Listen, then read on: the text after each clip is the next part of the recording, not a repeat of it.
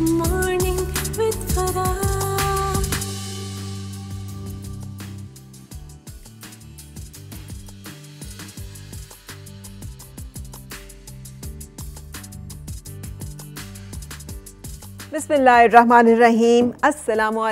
सुबह बखैर और खुश आमदीद A T V morning morning with Farah में। दुआ उम्मीद यही कि आप मज़े में हों और इस दफ़ा तो लेबर डे की जो छुट्टी है, वो यकीनी तौर पे आप सब लोग घर में इंजॉय कर रहे होंगे।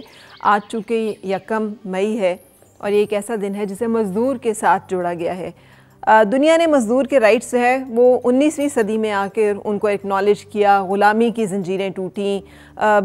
यूएस का जो है वो कानून आया कि जिसमें ग़ुलामी से लोगों को निजात मिली और उनके कुछ राइट्स हैं, उनका तयन किया गया।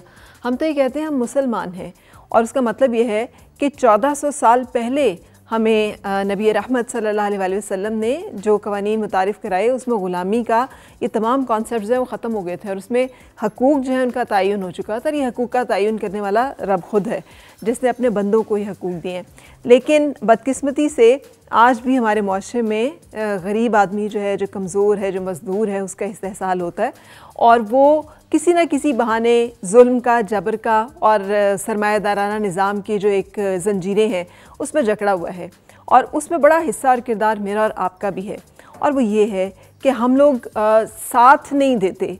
हमें नज़र आए कि कोई किसी के साथ जुल्म हो रहा है किसी के साथ जो है ज़्यादती हो रही है तो हम उसका साथ देने के लिए तैयार नहीं होते क्योंकि हमें लगता है कि हम खाम खा एक मुसीबत अपने गले में डाल लेंगे।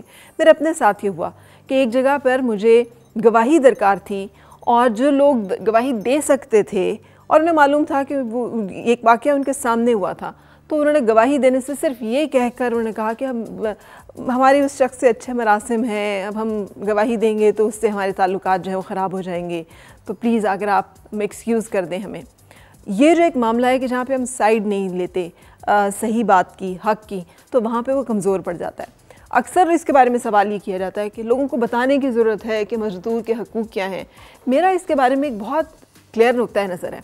मुझे लगता है कि जब हम हम अगर हम कुरान हकीम को पढ़ें तो उसमें एक सवाल बार बार आता है कि जब लोग जहन्नुम में डाले जा रहे होंगे ना तो जो दरोगा जहन्नुम होंगे वो उनसे पूछेंगे कि क्या तुम्हें बताने वाला कोई आया नहीं था? तो वो कहेंगे आया था। लेकिन हमने उसकी तकजीब की थी। हम सब जानते हैं कि अलकासिब हबीबुल्ला मेहनत कश अल्लाह का दोस्त है। अल्लाह के दोस्त के साथ हम कैसे ज़्यादती कर सकते हैं? रसूल खुदा अलैहि वसल्लम ने खुद फरमाया कि मज़दूर को उसकी मज़दूरी पसीना खुश्क होने से पहले दे दो। या खून खुश्क करके भी जो है, वो उजरत और मुआवजा देने के लिए तैयार नहीं होते। तो हम कह सकते हैं कि हमें मालूम नहीं था या हमें किसी की इन्फॉर्मेशन की ज़रूरत है। अगर हम मुसलमान हैं, पाँच वक्त नमाज़ पढ़ते हैं, उस नमाज़ में कुरान का कोई ना कोई हिस्सा जो है, वो हम पढ़ रहे होते हैं। अल्लाह ताला के सामने अपनी बंदगी का इकरार कर रहे होते हैं और उसी के बताए हुए जो असूल, कायदे, कवानीन हैं, उनको हम मान नहीं रहे होते या उनका, उनके ऊपर चल नहीं रहे होते। तो मुझे समझ में नहीं आता कि ये जो अकाउंटेबिलिटी का हमारा कॉन्सेप्ट दिया गया है हमारे मज़हब में, हम उसमें सुरखरू कैसे होंगे? बहुत ज़रूरत है कि हम अपने माशरे में जबकि आजकल हम देखते हैं बेरोज़गारी बहुत बढ़ रही है फ्रस्ट्रेशन बहुत ज़्यादा है। आ, मुल्क के जो हालात हैं उसके तहत डाउन साइजिंग हो रही हैं। लोगों को मुलाजमतों से निकाला जा रहा है तनख्वाहों की अदायगी बर वक्त नहीं हो रही। आ, बहुत काम का मिलना जो है मुश्किल हुआ हुआ है। तो हम सबको इसके बारे में ऐसा कुछ करने की ज़रूरत है कि जिसके साथ लोगों की ज़िंदगी में बेहतरी आ सके। मज़दूर सिर्फ़ वो नहीं है जो लंगर पे बैठ के खाना भी खा लेता है। जो आपसे चमट के मांग भी लेता है सवाल भी कर लेता है।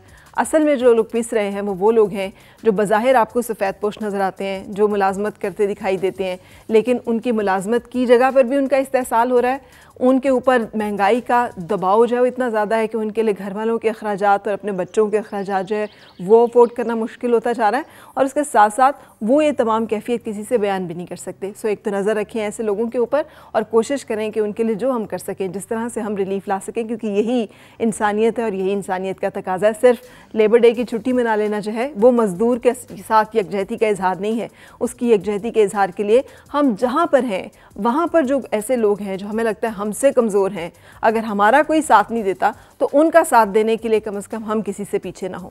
सो so, आज भी एक ब्रेक के लिए रुकने के बाद आपसे होगी फिर मुलाकात मेहमानों से मिलेंगे और कुछ रेसिपीज़ कुछ हेल्थ के हवाले से इंफॉर्मेशन आपके साथ शेयर करेंगे।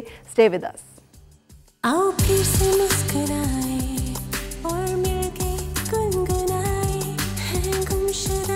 खुशियाँ सारी वो ढूंढ लाए